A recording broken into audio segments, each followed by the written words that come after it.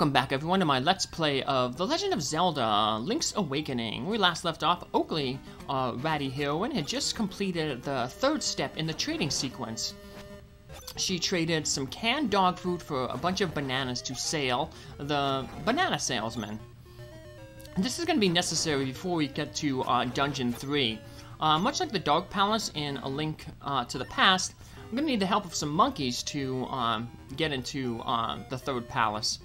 But unlike uh, Kiki the monkey in A Link to the Past, who we need to give rubies to, the monkeys in this game will need to give some bananas to, so... Here's a Guardian Acorn, it doubles our defense until we step into a building, cave, or dungeon. We'll be doing that shortly, so I didn't bother picking it up. But now that we have a sword, we can head up north here, chop down this bush in this uh, upcoming screen, and head into the mysterious wood. Hoot ho, brave lad! On your quest to wake the dreamer. Welcome to the mysterious wood. Much of mystery you will find on this uncharted Koholint island. I'm afraid you may find it a trifle difficult to leave the island while the windfish naps. By the by, have you ever visited the Tail Cave, which is south of the village? Go there with the key you find in this forest. The windfish is watching. Alright, so got our little mini quest here. And uh, that's going to be uh, pretty uh, the standard operating uh, procedure, I guess, for this game. Uh, oh, here's a piece of power. It's the opposite of the Guardian Acorn, where the Guardian Acorn doubles our defensive power. The piece of power uh, doubles our offensive capabilities. And as you can see, when he hits something, it, they fly across the screen, so... Those moblins normally take two hits, now they only take one. And hey, we got this friendly raccoon. Is it named Scooter? As a raccoon, my nose is very sensitive to stuff like dust and powder. That's a little clue. Scooter is a raccoon who visits the lady who runs the Marty Mouse House Minions uh, page. So, unfortunately, that raccoon there is not nice like Scooter, and he teleported us to a different part of the woods, so we're gonna have to find a way to get past him somehow. And our piece of power has gone off because we've uh, taken a few hits, so both the acorn and the piece of power uh, will uh, stop uh, working if you take a few hits, so. Beware of floors with cracks. A heavy person should not stand on them. And that includes ratties, so. Yep, see these little uh, floors? You can stand, you can uh, walk on them, but as long as you don't stay uh, for like a second on them, you'll be okay. So, even though we can't pick up blocks, we can still push them, so... Get a few rupees there. There we go. See if you fall, uh, if you stand on the block for a long time, you fall down, and you lose uh, half a heart, and you end up uh, back at the um, entrance that you entered, so... Another Guardian Acorn, but we're to be leaving the cave here real quick, so... No, I'm speed it up, not having to pick up and see that message, so... And hey, we got a mushroom! And much like A Link to the Past, we'll be giving this mushroom to a witch, so... A mellow aroma from it flows into our nostrils. So let's head back through this cave. Gotta push the blocks a little differently this time. And then we're gonna sneak out. So some of these uh, blob monsters, uh, when they get hit, they split into two smaller ones. But if you hit them with a charged sword swing, uh, you'll defeat them in one hit. So And to the left of this screen is where we, uh, where the scooter was, so. And here we have a little fairy spring. Uh, if you ever visit a, uh, if you ever visit a fairy and you don't have full life, uh, the fairy will, uh, refill your life, so. And, uh, there's a few fairies on the overworld. A lot of times you'll find fairies in caves, though, so. That rock looks suspicious. We'll have to come back here where we can pick rocks up later. Little blobs, the little tiny ones won't damage you, but they will kind of uh, make things a little bit more difficult for you. They kind of just uh, limit your movement, so make it easier for the other enemies who can hurt you, uh, hit you, so. Here we have these uh, buzzy slimes that walk around. Once again, if you hit them, uh, you'll take damage, so. Double Double, Toil and Trouble. A toadstool mix makes powder for tricks. Well, now we just put our toadstool in one of our item slots. We use it. Ah, it has a sleepy toadstool, it does. We'll mix it up something in a jiffy, we will. And look, uh, she has a little rat. Aw, that's cute. It's all ready, it is. Take care, as there's not much there. Why not try a bit in my hut? You got some magic powder. Try sprinkling on a variety of things. So let's do what she says. If we throw it in like uh, empty torch uh, bins, uh, the torch will light on fire. So we can also throw it on these guys to make them look all funky. But even if they look funky, they still damage us. So. But now we have powder. Remember what uh, Scooter said? Uh, she said uh, he said that uh, well, Scooter's a girl in in, in reality, but uh, in this game it's a it's a he. We'll find out. But uh, he said that he has nose is uh, sensitive to things like powder. So now that we got some powder, we can uh, go back and throw some on Mr. Scooter. Hopefully it doesn't make him catch fire like it's been doing to the enemies. So, so just fine, go up to Scooter, and before we head up to the top, because if we head try to head through the top again, he'll uh, warp us. But we sprinkle some powder on Scooter, and he flies all around. And boom, it tu turned into Tarin. The last thing I can remember was biting into a big juicy toadstool. Then I had the darndest dream. I was a raccoon. Yeah, it sounds strange, but it sure was fun. I'm all tuckered out. I think I better set a spell before I head home. He's gonna take a little nap there. Mm-hmm. Watch what you eat. And in this treasure chest, we have the Tail Key. Now we can open the entrance to the Tail Dungeon. We were told that's south of the village. Oh, here's Mr. Owl again. Ooh. Take the key and go to the Tail Cave. Retrieve the instrument that is hidden there. Go now. The windfish is waiting. Ooh. Alrighty. We were told there was that sign uh, outside the village. It told us where uh, the Tail Cave was. We can also go into the library and we get our Guardian Acorn. We've got a little bit of a trek to get to the, the dungeon, and we won't be going in anywhere, so... Now, uh, you can also go to the library, and the library, the book that has the Atlas of Koholint, has uh, everywhere uh, listed, so it's like as if the entire map was uh, cleared by you. But, uh, uh, but, uh, you can look at it and try to find places, so, if you need to, so. But, just chop down some things here, we're gonna go to the shop. Well, nope, trying to look for some bombs. We want to eventually get some bombs, so.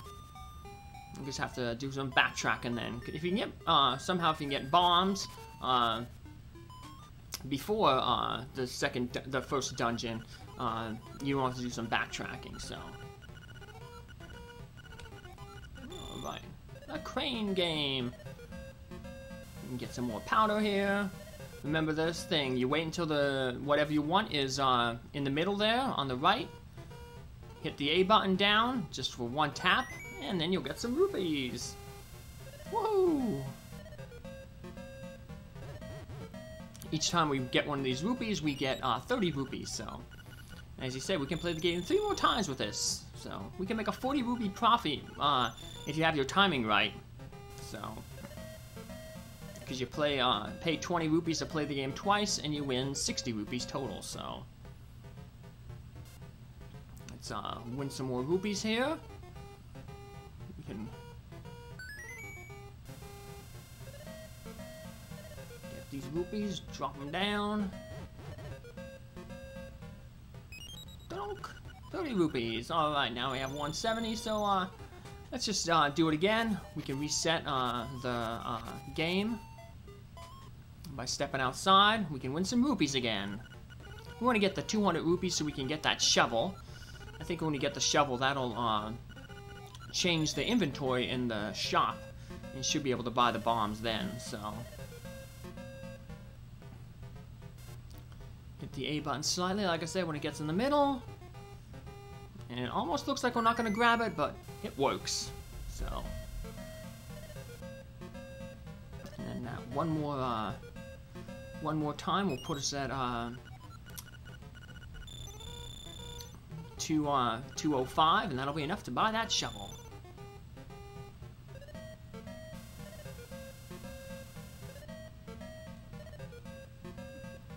Let's get this rupee here. 215. I took uh, 20 off instead of uh, 10 for the for the game.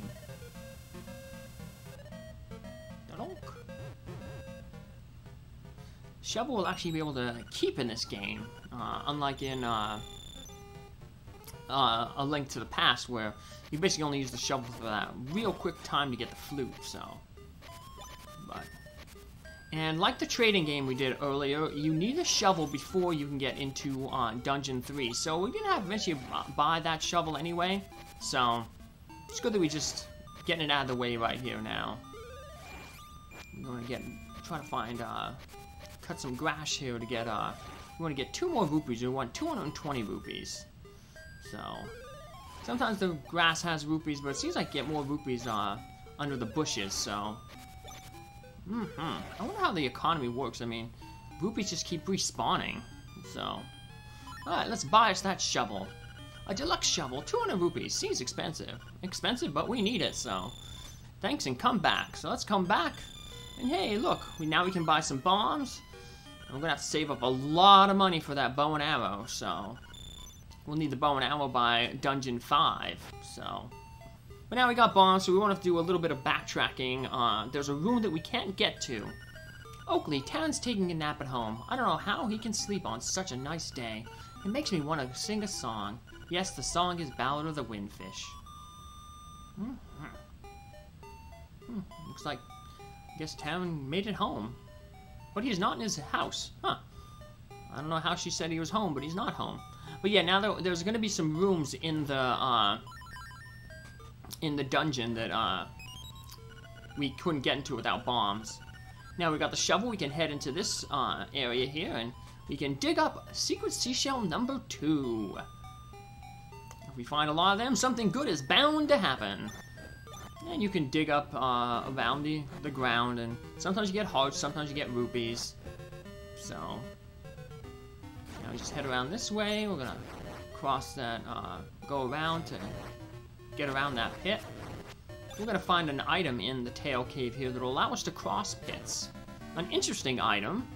Uh, first time I played the game, I thought, oh, we'll probably get a step ladder like how we did in uh, the Legend of Zelda, the initial Legend of Zelda, but we get a different item instead. We'll see that when we head into this dungeon here. The first dungeon of the game, the Tail Cave. It's a small little dungeon. Knock these guys, who are invincible otherwise, into the pit, and we get our first small key. We charge up a shot there, we can uh, knock out all those guys in one hit. And now we get the compass that shows where the nightmare is hidden, and it can also show where uh, keys are. So if you enter a room, uh, that has a key in it, your a tone will play. And that lets you know that, hey, there's a key in here, and uh, you might have to do something, so... That might be uh, defeating all the enemies, or pushing a switch. So we can go either left or right in from that room. I'm just going to head to the left here just to clear this room. We're going to end up in the room to the north there in a little bit, so... We're just going to clear this room out. We're going to get full map completion here poke that guy into the pit, hit the button, and we get another small key. Now we can head on this room. Now that door up to the top there, it's a one-way door. Uh, when we go through it, it's going to flip um, around so we can't uh, go back the other way, but we can, like I said, go one way, so... And now we can use our key, and we're gonna head and find these really annoying enemies here, these card enemies. You kind of almost want to try to uh, get all three of them at the same uh, in the same area and then hit them all with one sword swing. If you do that, you can get them all. Otherwise, you're gonna have to worry about timing. Uh, but they all all their all their um, suits have to match in order for them to be defeated. Uh, if they don't all match, then they just reset. So, and then usually it's best to maybe just leave the room and try again. So you want to try to get maybe at least two of them, uh, so that two of them will always be the same suit. Uh, and then you just have to time for the third one. So, you see that crack over there to the left? Um, well, we uh, wouldn't have been able to get into this room if we didn't have bombs. But since we got bombs earlier, we can now uh, go into that room.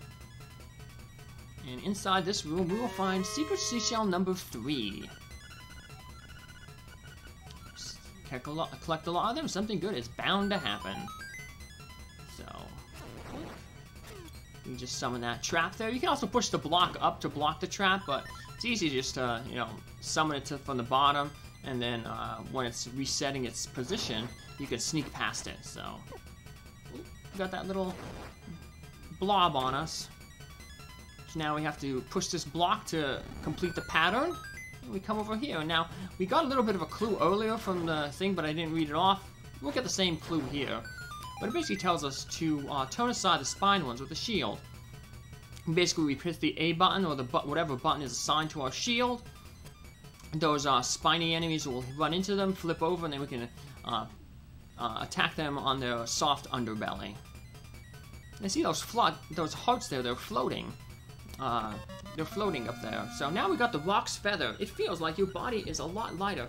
The Roc's Feather allows you to jump so now those uh, hearts that were floating off the ground there, you can actually uh, jump up and get them.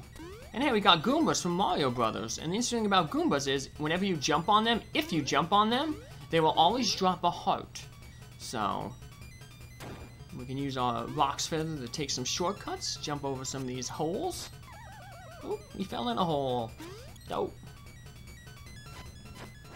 But, Nice. Got another worm here. Knocked him in the hole. Now that we have the Roc's Feather, we can head up to the, uh, through the top. Up here, this top uh, little alleyway. Because there's going to be a pit that we couldn't cross earlier. Now that we have the Roc's Feather, we can cross that pit. Use the key. And in uh, A Link to the Past, we had small keys, and then we had the big key. In uh, A Link's Awakening here, we have the Nightmare Key. And it basically functions like the big key in that uh, you need it to uh, open the door to the boss. There are no big treasure chests in, in, this game, so you don't need the Nightmare Key to open like a big treasure chest. Uh, regular treasure chests are all that you got in this game, so... And you don't need keys to open them, you only need keys to open doors or blocks. Here's a mini boss. Every dungeon in this game is going to have a mini boss, and uh, usually you have to use the item uh, that you get in the uh, dungeon to beat the boss. So, for instance, you've got to use the Roc feather to jump over that rock, that uh, uh, spiked roller that uh, that guy was tossing at us, and then we can jump over. And when you defeat the mini boss, they always leave a portal behind, and the portal will take you back to the beginning of the dungeon. So. We got the Moldworm boss here. We just got to hit him in his tail. Hit him a few times. And then he's defeated. And we get the heart container. If we get knocked down for some reason in during the fight, before we collect the heart container, we just end up in this room. We just gotta climb our way back up, and then the boss's health resets, and we get out of these stairs here, so... But here's the tail cave. As you can see, we've completed the entire dungeon. Gotten all the chests. And now we can get the first instrument of the siren. You got the full moon cello.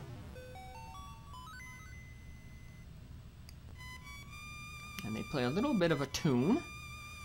And eventually all those uh, little uh, beats of that tune will make an entire song. And then we'll have to play that song eventually to wake the windfish. Swamp, a path opens in the blooms.